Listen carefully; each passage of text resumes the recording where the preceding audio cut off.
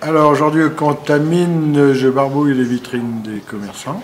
J'ai l'autorisation avec l'Office du tourisme pour célébrer la naissance du nouveau logo de la station, qui est quand même un événement important dans la station. Donc j'écris sur les vitrines des commerçants des petites phrases euh, qui sont liées à la montagne, à la neige, à Samivel qui est l'auteur euh, local. Et je, ça permet aux commerçants de s'insérer dans un événement culturel. Ça leur permet de prêter leur vitrine au regard des passants. Et moi, je, je déambule, je papote, euh, en contact avec c'est une nouvelle animation euh, visuelle que je propose depuis 5-6 ans maintenant, qui marche bien parce que justement visuellement c'est sympa, ça occupe la vite, on peut effacer quand on veut, et puis un petit message qui, passe quand même quoi. Et c'est ton travail à plein temps, donc tu es calligraphe toi Je suis calligraphe et c'est pas mon travail à plein temps, je travaille beaucoup avec les écoles. Je donne beaucoup de démonstrations d'écriture des écoles primaires. Et je travaille aussi beaucoup sur les apprentissages de l'écriture à l'école primaire. Donc je ça, c'est un peu ma récréation.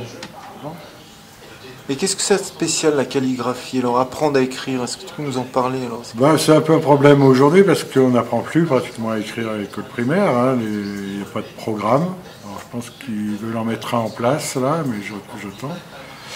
Donc chacun fait comme il peut, mais le problème c'est que les gamins apprennent de moins en moins à écrire. Moi j'ai travaillé des classes de 5e dans un collège et j'ai fait cinq séances de deux heures avec la même classe. Et il y en a un tiers qui ne sait pas écrire en cinquième. C'est des gamins qui ont 11-12 ans. Donc c'est un peu euh, la cata, mais personne ne fait rien tout le monde pense aller vers les outils informatiques et que la notion d'écriture va ne servir à rien, ce qui est faux, ce qui est archi faux. Parce que bien écrire, c'est pas écrire, c'est pas que bien écrire. Écrire, c'est pour moi le choix des outils, le choix du support, bien s'asseoir, prendre son temps, penser à qui on écrit, pourquoi on écrit. Moi j'aime bien avoir cette notion de pour écrire, il faut être deux. Il y en a un qui écrit et un qui reçoit. Et on dit euh, la personne qui reçoit, euh, j'aime bien ce mot, on dit un destinataire. Donc c'est le destin qui intervient. On dit un correspondant. Faut être deux. Et puis bon, moi je suis un adepte des écrits restes. Hein, euh, les paroles s'envolent, les écrits restent. Je vais garder les papiers de famille euh, et tout ça, bientôt il n'y en aura plus. On estime en France à 11% le nombre d'illettrés. Mais il est clair que c'est plutôt peut-être 15%, 16% que 11%.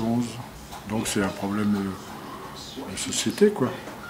Et ça se rapproche comme d'un geste artistique, ce que tu fais quand même. Oui, bien sûr. Moi, j'ai appris. Hein, je suis peintre en lettres de métier. J'ai appris, j'ai fait des stages, j'ai fait des essais. J'aime les nouveaux outils, justement.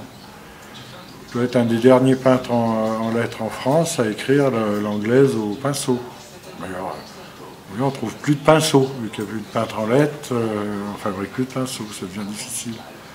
Trouver des bons pinceaux en martre, j'en ai gardé quelques-uns d'avance, mais quand ils seront usés, je, ça n'existera plus.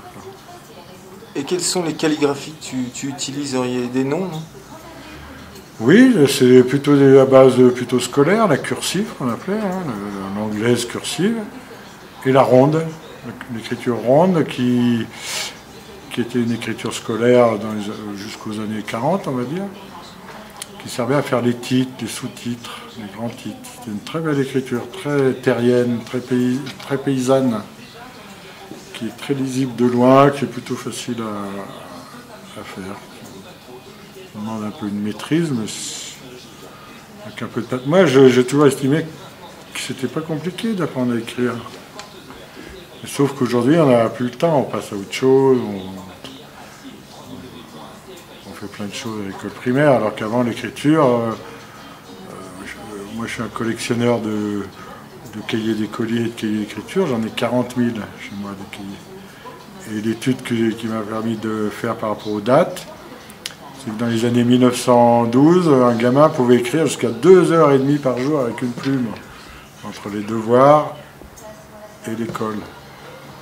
Alors t'imagines, un gamin qui écrit comme ça pendant une année, il sait écrire au bout d'un an. quoi. C'est la pratique qui fait... euh, L'écriture, il faut pratiquer. Si on ne pratique pas, on n'apprend pas ou lentement.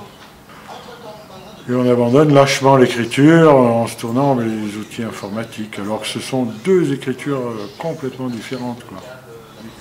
Quand tu écris euh, l'écriture télématique, tu as le regard horizontal qui regarde l'écran, et tu tapes tes lettres euh, séparées. Tandis que l'écriture manuelle, tu as le regard vertical sur ta feuille, sa feuille, et toutes les lettres sont liées. Voilà la différence. important. Et les outils que tu utilises pour les vitrines, alors en ce moment, c'est des- C'est les feutres, hein, c'est la grande mode là, c'est les feutres japonais, les Posca, les plus connus. Je fais pas de pub, hein, bon, souvent. Est-ce qu'il y a un plaisir d'écrire comme ça à la main alors? Que- Bien sûr, ben oui, c'est même évident. hein. Surtout sur le verre, comme ça, c'est une jouissance, il n'y a pas d'obstacle, il n'y a pas d'accro, euh, ça fuse. Quoi. Et l'important de, mon geste d'écriture, c'est justement la, fluidité, Euh, le geste.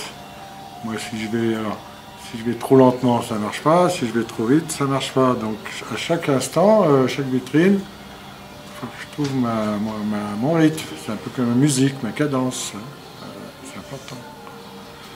Et euh, ce qui est intéressant aussi pour moi, c'est que bon, les gens ne remarquent pas trop, mais quand j'ai un texte, je sais le mettre sur une vitre sans toucher les bords, sans. euh, J'arrive à écrire droit sans, sans tracer. C'est aussi un vrai plaisir, ce côté-là. De situer un texte sur une surface donnée, c'est jouissif d'arriver à, à à placer élégamment. Donc ça va ni trop gros, ni trop petit. euh. Ça, c'est. Je l'explique plus, c'est le métier, c'est la main. quoi. C'est comme un cuisinier qui fait un plat. Au bout d'un moment, il ne regarde plus la recette, c'est aussi le feeling. Quoi. Et c'est un geste qui est dur à voir, qui, qui est long à acquérir. C'est une pratique, oui, oui, c'est une pratique. C'est du temps, moi j'ai passé du temps, j'ai passé du temps, euh, j'ai fait des brouillons, des brouillons. euh. Puis au bout d'un moment, là, ce qu'on appelle la, la main, la main du calligraphe, c'est. Il n'y a pas de pareil. Il, fait son geste euh, en fonction de son tempérament. hein. Le calligraphe qui est speedé, il va faire une calligraphie plus speed. Un calligraphe qui est trop plan-plan, il va faire une, avoir une calligraphie plus, posée. hein. L'intérêt pour, pour ce genre d'exercice, c'est d'avoir à peu près toujours le même geste tout le temps. quoi. C'est pas commencer le matin fringant et le soir euh, épuisé. Faut, faut que je garde ma main, moi. Faut pas que je m'emballe. faut- Il n'y a pas d'euphorie à avoir. Faut, faut que je tienne ma main. quoi. Et, euh, à la fin, c'est un vrai plaisir de, voir les gens qui s'arrêtent, on discute. J'aime ça aussi. quoi.